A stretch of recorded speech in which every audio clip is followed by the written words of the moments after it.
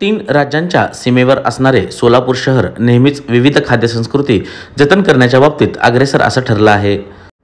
सोलापूर शहरापासून पस्तीस किलोमीटर अंतरावर असणाऱ्या मोहोळ तालुक्यातील मोहोळ रेल्वे स्टेशन येथे संजय भेळ ही जिल्ह्यात अशी फेमस भेळ म्हणून ओळखली जाते. ही भेळ बनते कशी आणि त्याची वैशिष्ट्ये काय आहेत हे आज आपण जाणून घेणार आहोत. एकदा अवश्य एकदा टेस्ट बघितले की माणूस तो प्रत्येक वेळेस हमेशा येणार. किती प्रकारचे भेळ आहेत तुमच्याकडे? चार प्रकारचे भेळ आहेत. कोणकोणत्या आहेत ते? एक अं, गोड भेळ ओली गोड भेळ एक सुक्की गोड भेळ एक तिखट अं, सुक्की भेळ आणि एक ओली मिडियम जी चालू रेग्युलर आमची भेळ चालते. प्रसिद्ध भेळ आहे ती आमची. संजय भेळ आहे ती खास ओली भेळ. संजय देशमुख संजय भेळ मोहोळ रेल्वे स्टेशनचा मालक. हे सोळा वर्ष झाले मी भेळ म्हणून कसं बनवता? स्पेशालिटी काय भेळची काय? भेळचे स्पेशलिस्ट म्हणजे आम्ही गणेश बेकरी कोल्हापूर नांदणीवाल्याचं फरसाणं वापरतो. झिरोशाहू त्यांचीच वापरतो. क्वालिटी महाग आहे पण क्वालिटीला तोंड नाही त्यांच्या. चौकोतेवर म्हणून आहे कोल्हापूरमध्ये हातकणंगलीची नांदणी बेकरी म्हणून आहे. प्रसिद्ध आहे त्यांचं फरसाणा. झिरोशाहू मका चिवडा.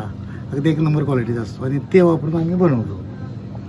उत्तम रिफाईंड तेलामध्ये त्याची चटणी मसाला बनवून आणि टोमॅटो सॉस वगैरे वापरून त्याचे त्याच्यापासून भेळ बनवतो चालू मी सुरुवात केल्यानंतर आठ रुपयाला पूर्वी भेळ होती आठ रुपयापासून दहा झाली परत बारा परत वीस. आता म्हणजे आता पटीत वाढत गेलो तीस झाले आता.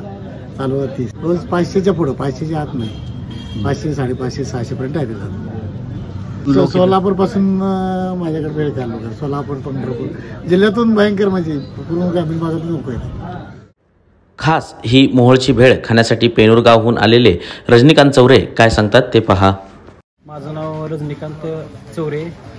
मी पैलवान आहे. अं, पेंढूरवरून आलो इथं. आम्ही कॉलेजला असल्यापासून अकरावीपासून येतो इथं. साधारणतः आठ नऊ वर्ष झाले इथं भेळ खायला येतो. कारण इथली टेस्ट भारी असते त्यामुळे येतो आम्ही. आणि ह्यानी सर्व्हिस पण चांगल्या पद्धतीने देतात सर्वांना. टेस्टमध्ये फरक राहतो आणि क्वालिटीमध्ये पण फरक आहे. आणि क्वांटिटी पण भरपूर असते लोकांच्या हिशोबाने. आणि किंमत पण त्या पटीने कमी आहे. लोक बाकीच्या ह्याच्यापासून. मी दहा रुपये असल्यापासून आज तीस हजार तीस रुपये आहे.